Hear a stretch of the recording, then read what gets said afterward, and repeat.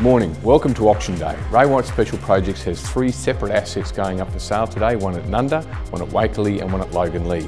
We've got multiple bidders registered for each asset, so we're really looking forward to seeing how things go and we'll be in touch after the auction to see how things went.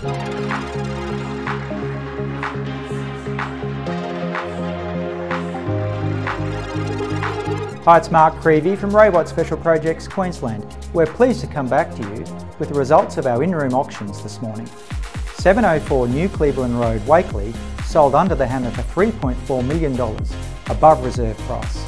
62 to 64 Monash Road, Loganlea sold for $1,565, again was above reserve price and under the hammer. 43 Melton Road, Nundah was passed in will continue to work with interested parties post-auction. All of today's results show the ongoing strength of the residential development site market in southeast Queensland, particularly the competition created through the auction format. We look forward to welcoming you to our next in-room auctions.